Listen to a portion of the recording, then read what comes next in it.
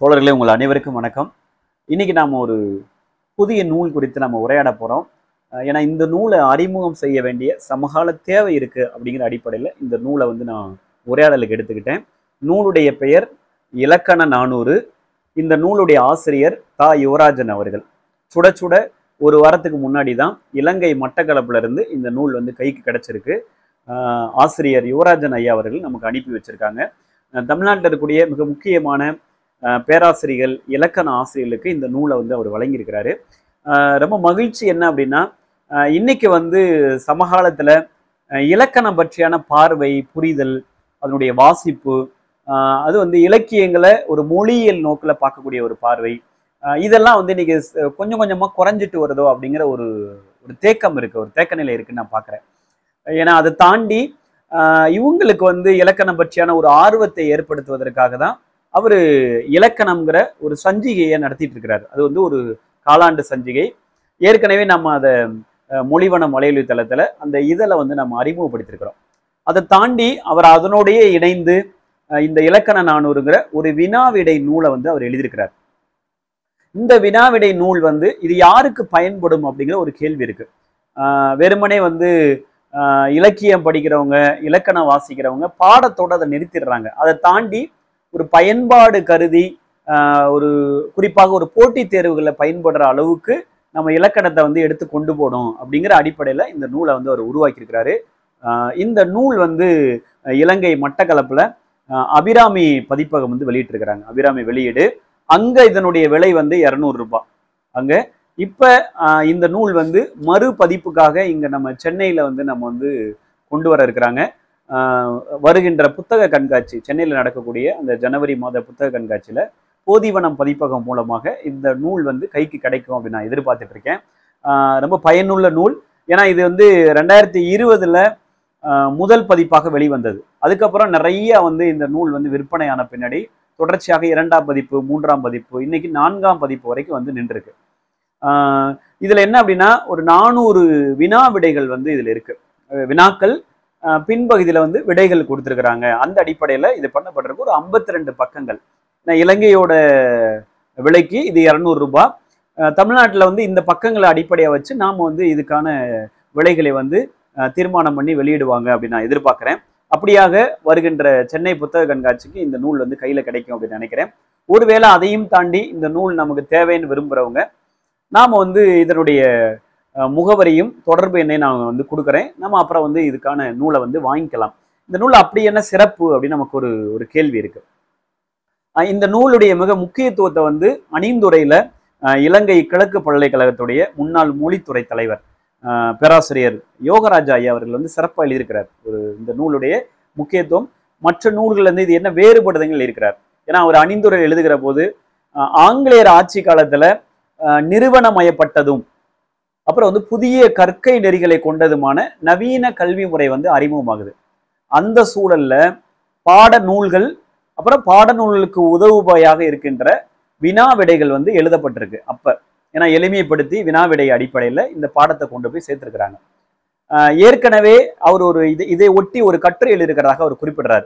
இலங்கையிலையும் தமிழ்நாட்டிலையும் வந்திருக்கக்கூடிய குறிப்பாக இலங்கை தமிழ் சார்ந்த அந்த இலக்கிய இலக்கண மரபுல இலக்கணத்திற்குரிய முன்னோடியாக இந்த வினாவிடை பயிற்சி பிரசுர முயற்சி வந்து நடந்திருக்கு.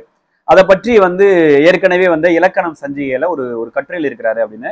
இந்த கட்டுரை பத்தி நீங்க எல்லாரும் தெரிஞ்சிருப்பீங்க அப்படின்னு ஆரம்பிச்சு அதை பேசுறாரு. இந்த வினாவிடை எழுதக்கூடிய முயற்சிங்கிறது இன்னைக்கு வரைக்கும் இலங்கையில வந்து தொடர்ந்து எழுதப்பட்டுக்கிட்டே வருகிறது.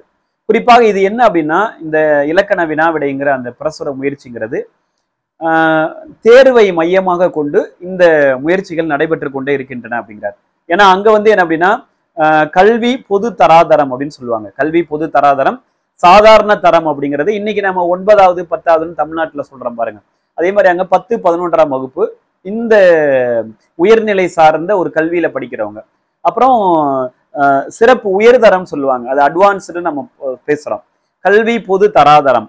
அப்ப என்ன அப்படின்னா உயர்தர வகுப்புகளுக்குரிய பொது பரீட்சை தேர்வுகளுக்கு சில வினாக்கள் இடம்பெறும். அந்த அடிப்படையில தான் இலங்கை கல்வி முறையில இந்த வினாவிடை அப்படிங்கிற ஒரு பிரசுர முயற்சிங்கிறது ஒரு பெரிய அம்சமாகவே இன்ன வரைக்கும் இருந்துட்டு இருக்கு அப்படின்னு குறிப்பிடுறாரு. ஏன்னா இங்க அப்படியான முயற்சிகள் இல்லை. நம்ம வந்து பள்ளிக்கூடத்துல ஆஹ், இலக்கணம் படிக்கிறோம். வேணா அந்த கீழே வந்து என்ன பண்ணியிருப்பாங்க ஒரு வினாக்களை தொகுத்து கொடுத்துருப்பாங்க. அதுக்குள்ள பதிலை கொடுத்து. ஆனா இப்படி தனியாக எழுத்து இலக்கணத்துக்குன்னு தனியாக ஒரு ஒரு ஒரு இரநூறு வினாக்கள் அந்த வினாக்களுக்கான விடைகள் சொல் சொல்லு இலக்கணத்துக்கு பொருள் இலக்கணத்துக்கு யாப்புக்கு அணிக்கு இப்படியான ஒரு முறை வந்து தனித்தனியாக இல்லை.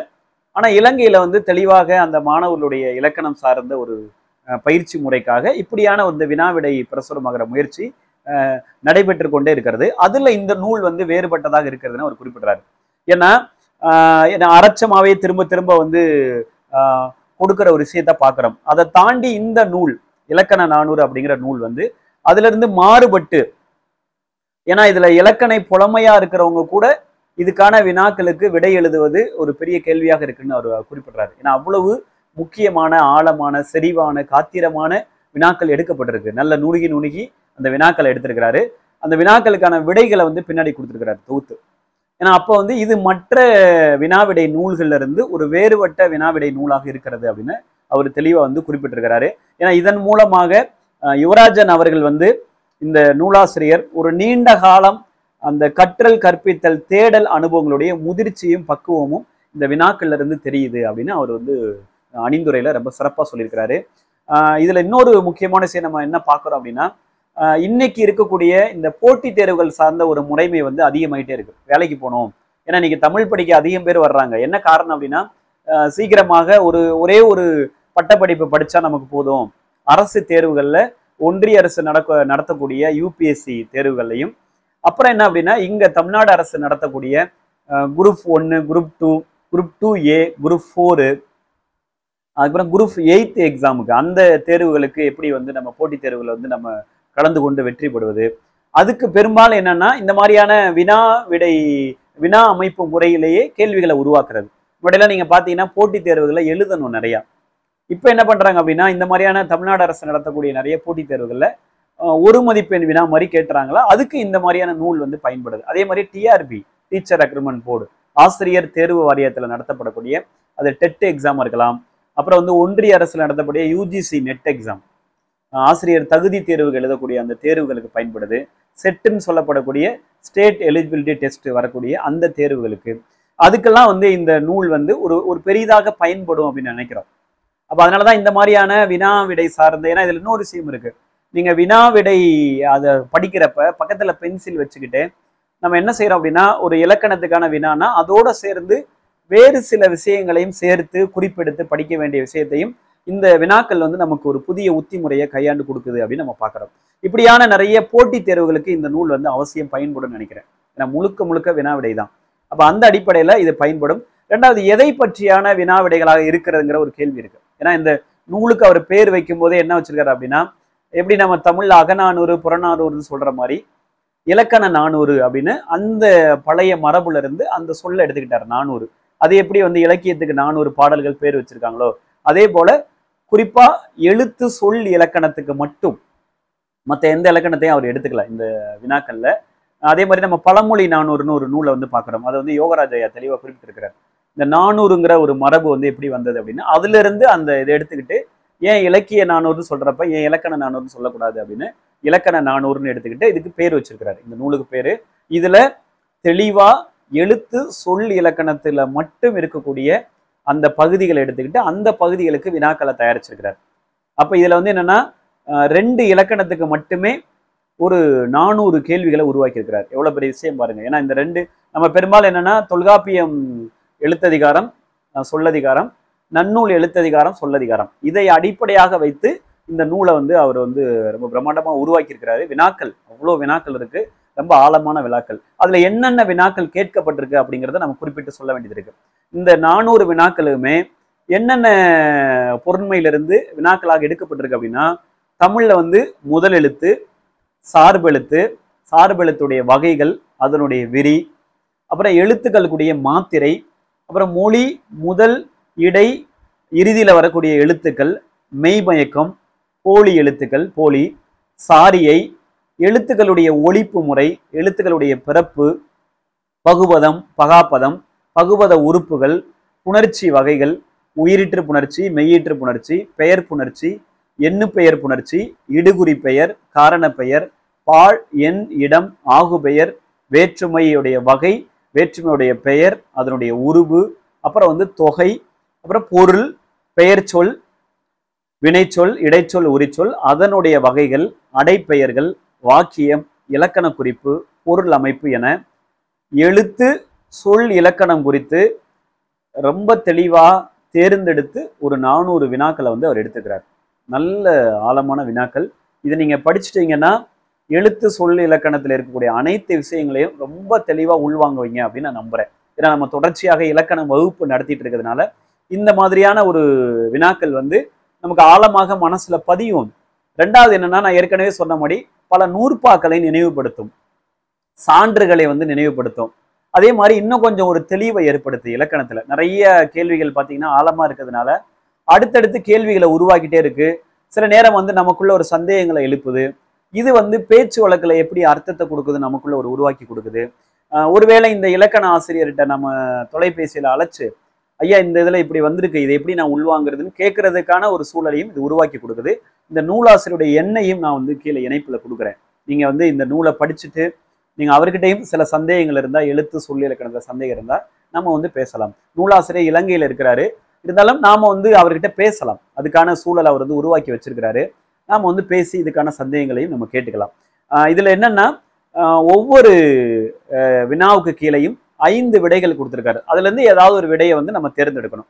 ஆஹ் நூலுடைய இறுதியிலேயே அது பட்டியல் கொடுத்துருக்கிறாரு. ஆனா இந்த நூலுடைய முதற் பதிப்புல பார்த்தீங்க அப்படின்னா நானூறு வினாக்கள் இருக்கும். முன்னூத்தி இருபத்தஞ்சு வினாக்களுக்கு மட்டும்தான் அவர் விடை கொடுத்துருப்பாரு.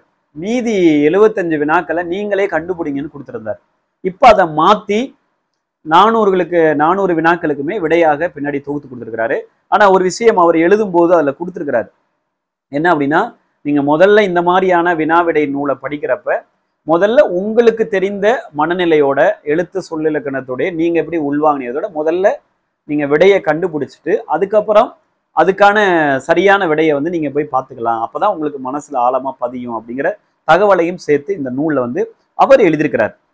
ஆஹ் இதுல இன்னொரு விஷயம் என்னன்னா இந்த வினாவிடை நூல் மூலமாக யுவராஜன் ஐயா அவர்கள் வந்து எழுத்து சொல்லிலக்கணத்துல எவ்வளவு புலமை வாய்ந்தவராக இருக்கிறாரு அப்படிங்கிறதையும் இந்த நூல் வந்து நமக்கு தெளிவாக அடையாளப்படுத்துது.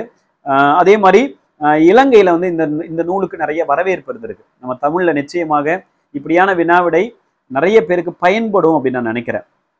அந்த அடிப்படையில் இது வந்து ரொம்ப முக்கியமான வாங்கி படிக்க வேண்டிய ஒரு நூல். அவசியமாக வாங்கி படிக்க வேண்டிய ஒரு நூல். இதில் ஒரு சான்றுக்காக ஒரு ஒரு ஒரு நாலஞ்சு வினாக்களை மட்டும் நான் உங்களுக்கு சொல்கிறேன் அந்த வினாக்கள் அந்த வினாக்களுக்கான விடை. இதில் வந்து பார்த்தீங்கன்னா ரெண்டாவது வினா. எழுத்தினது அகத்திலக்கணத்தின் எண்ணிக்கை. ஒன்று முன்னூற்றி அறுபத்தொம்போது ரெண்டு இரநூத்தி பதினாறு மூன்று முப்பது நான்கு பன்னிரெண்டு அஞ்சு பத்து. அப்போ இதுக்கான விடை எழுத்தோடைய அகத்திலக்கணத்தோடைய எண்ணிக்கை மொத்தம் பத்து. ஏன் அப்படின்னா நம்ம எழுத்த எழுத்ததிகாரத்துடைய தொடக்கத்திலே நம்ம பார்க்குறோம். எண் பெயர் முறை பிறப்பு உருவம் மாத்திரை மொழி முதல் எழுத்துக்கள் இடையெழுத்துக்கள் இறுதி எழுத்துக்கள் அப்புறம் போலி பத்து வந்துடும் இதுல என்னன்னா புறத்திலக்கணம் ரெண்டு சொல்லுவோம். அடுத்த கேள்வி வந்து அதுதான். அடுத்த வினா பாத்தீங்கன்னா எழுத்தினது புறத்திலக்கணத்தின் எண்ணிக்கை. ஒன்று ஒன்று ரெண்டு ரெண்டு மூணு வந்து அஞ்சு நாலு ஏழு அஞ்சு வந்து பன்னிரெண்டு. இதுல எது சரியான விடை அப்படின்னா ரெண்டு. புறத்திலக்கணம் ரெண்டு. என்ன பதம் உணர்வு புணர்ச்சி. இந்த ரெண்டு வந்து வரும். இப்படியான நிறைய கேள்விகள் இருக்கு. இன்னொரு கேள்வி பாருங்க. பின் வருவனவற்றுள் ஈரிதல் வெடிப்பொலி. எது? எந்த எழுத்து? ஈரிதல் வெடிப்பொலின்னு போட்டு ஒன்று இக்கு ரெண்டு இப்பு மூணு இட்டு நாலு இச்சு அஞ்சு இம். இது சரியான விடையை நம்ம தேர்ந்தெடுக்கணும். இதில் பதில் என்ன அப்படின்னா விடை வந்து இப்பு. ஈரிதழ்கள் சேர்ந்து உருவாகக்கூடிய ஒரு வெடிப்பொலியாக இருக்கிறது இப் அப்படிங்கிற ஒரு வினா. அப்புறம் இதே மாதிரி நிறைய வினாக்கள். இன்னொரு வினா பாருங்க. பின் வருவனவற்றுள் வினையடியாக பிறந்த ஆக்கப்பெயர் எது? ஒன்று உண்ணுதல் ரெண்டு மகிழ்ச்சி மூன்று வந்து உறவு நாலு வந்து கலைத்துவம் அஞ்சு கலை உணர்வு. அப்போ இதுக்கான பதில் என்ன விடை என்ன அப்படின்னா மகிழ்ச்சி. அப்போ மகிழ்ச்சி எப்படி வந்தது? அப்போ வினையடினா என்ன? ஆக்கப்பெயர்னா என்ன? இது எப்படி வந்து வினையடி ஆக்கப்பெயராக பிறந்திருக்கு அப்படிங்கிற நிறைய விடைகளை தேடுவதற்கு இந்த மாதிரியான வினாக்கள் வந்து நமக்கு பயன்படுது. அடுத்து பாருங்க இன்னொரு வினா. ஒரு சான்றுக்காக இந்த வினாக்களை நான் எடுத்து கொடுக்குறேன். அடுத்து ஒரு வினா பாருங்க. மரத்திற்கு நீர் ஊற்றி வளர்த்தான். இங்கு கூ உருபு உணர்த்தும் வேற்றுமை பொருள் எது? கூ என்ற உருபு உணர்த்தக்கூடிய வேற்றுமை பொருள் எது? விடை பாருங்க. ஐந்து விடைகள் கொடுத்துருக்காங்க. இது சரியான விடையை நம்ம தேர்ந்தெடுக்கணும். ஒன்று கடமை. ரெண்டு ஆர்வம். மூன்று கொடை. நான்கு முறை. ஐந்து தகுதி. சரியான விடை வந்து கொடை. அப்போ ஏன் வந்து கொடையை நம்ம இந்த இடத்துல விடையாக கொடுக்குறோம்? அப்படிங்கிறதுக்கான பதிலை வந்து இன்னும் கொஞ்சம் நம்ம நூலில் போய் நம்ம எடுத்து தேடி பார்க்க வேண்டிய தேவை இருக்குது அடுத்த ஒரு வினா பாருங்கள் பின் வருவனவற்றுள் கூட்டு வாக்கியம் எது? ஒன்று நான் சிரித்ததால் அவன் ஏசினான். ரெண்டு அது கருத்துள்ள ஆனால் சுவாரஸ்யமற்ற பேச்சு. மூன்று நான் காலையில் செய்தி கேட்டேன். நான்கு நீ ஏன் வந்தாய்? ஐந்து நான் இருக்க நான் இருக்க கொஞ்சம் இடம் தாருங்கள். நான் இருக்க கொஞ்சம் இடம் தாருங்கள் அப்படிங்கிற ஒரு விடை. இந்த ஐந்து விடைகள்ல எது சரியான விடை அப்படின்னு பாக்குறப்ப அது கருத்துள்ள ஆனால் சுவாரஸ்யமற்ற பேச்சு. இதுதான் கூட்டு வாக்கியம் குறிப்பிடார் அப்போ ஏன் இது கூட்டு வாக்கியம் வந்தது? கூட்டு வாக்கியம்னா என்ன? அப்போ வாக்கியத்துடைய பொருள் என்ன? வாக்கிய அமைப்பு என்ன? வாக்கியத்துடைய வகைகள் என்னென்னு நம்ம தேடி பார்க்கறதுக்கு இந்த வினாக்கள் வந்து பயன்படுது. அடுத்து பாருங்க கடைசி நானூறாவது ஒரு வினா. பின் வருவனவற்றுள் வினாச்சொல் இடம்பெற்ற வாக்கியம் இது. ஒன்று சொல்ல சொல்ல இனிக்குமா மழலை மொழி? இந்த வினாவுக்கு எப்படி விடை எழுதுவேன்? மாணவர்கள் இன்று வருவார்களா? இந்த வாரம் பத்திரிகை வெளிவருமா? அப்பாவா இன்று வருவார் என்று ஒரு ஐந்து விடைகள். இதில் சரியான விடைன்னு பார்க்குறப்ப இந்த வினாவுக்கு எப்படி விடை எழுதுவேன்? இதுதான் வந்து சரியான வினாச்சொல் இடம்பெற்ற வாக்கியம் அப்படின்னு குறிப்பிடுறார். அப்போ வினா வாக்கியம்னா என்ன அப்படின்னு நம்ம தேட வேண்டிய தேவை இருக்குது பின்னாடி குறிப்புன்னு கொடுத்து ஒரு பக்கம் விட்டுருக்குறாங்க. ரொம்ப முக்கியமான ஒரு வினா விடையில் வெளிவந்த இந்த இலக்கண நானூறு என்கிற நூல் யுவராஜன் ஐயா அவர்கள் வந்து வெளியிட்டிருக்காங்க. இலங்கையில் கிடைக்குது. நம்ம தேவைன்னா இங்கிருந்து வர வச்சு நம்ம கொடுத்துக்கலாம். ஆனால் வருகின்ற சென்னை புத்தக கண்காட்சியில் இந்த நூல் வந்து விற்பனைக்கு கிடைக்கும் அப்படின்னு நான் நினைக்கிறேன். நிச்சயமாக எழுத்து சொல்லிலக்கணத்தில் நீங்கள் ஆழங்கால் படணும் புரிந்து கொள்ளணும். அதுக்கான வினாக்களுக்கு நிறைய விடைகள் தெரியணும். போட்டித் தேர்வில் வந்து நிறைய பேர் பங்கேற்கிறவங்களுக்கு இலக்கணம் பற்றியான ஒரு தெளிவான விடைகள் தெரியணும் அப்படின்னு நீங்கள் நினச்சிங்கன்னா இந்த நூல் அவசியமாக வாங்கி படிக்க வேண்டிய குறிப்பிடத்தக்க ஒரு நூல் அப்படின்னு நான் உறுதியாக சொல்லுவேன். அந்த அடிப்படையில் இந்த நூல் வந்து நிச்சயமாக பரவலாக பேசப்படணும் அப்படின்னு நான் விரும்புகிறேன் ஐயா அவர்களுக்கு நன்றி. தொடர்ச்சியாக இதே மாதிரி யுவராஜன் ஐயா அவர்கள் இலக்கணம் சார்ந்து நிறைய பணிகளை இன்னும் தேவையான செய்திகளை வந்து அடுத்தடுத்து வரக்கூடிய மாணவ செல்வங்களுக்கு நம்ம கொடுத்துக்கிட்டே இருக்கணும். அப்போ தான் வந்து இலக்கணம் மீதான ஒரு ஆர்வமும் ஈர்ப்பும் வந்து தொடர்ச்சியாக நடைபெறும் அப்படின்னு நான் நம்புகிறேன் ஏன்னா அவங்க வந்து இப்போ தொடர்ச்சியாக இது இது போக ஒரு காலாண்டு இதழையும் தொடர்ச்சியாக இலக்கணம் என்ற பெயரில் ரொம்ப சிறப்பாக நடத்திட்டு இருக்கிறாங்க. அதையும் நம்ம வந்து வாங்கி படிப்போம். மிக்க நன்றி. அடுத்து ஒரு உரையாடலில் நூல் அறிமுகத்தில் உங்களை சந்திக்கிறேன். நன்றி. வணக்கம்.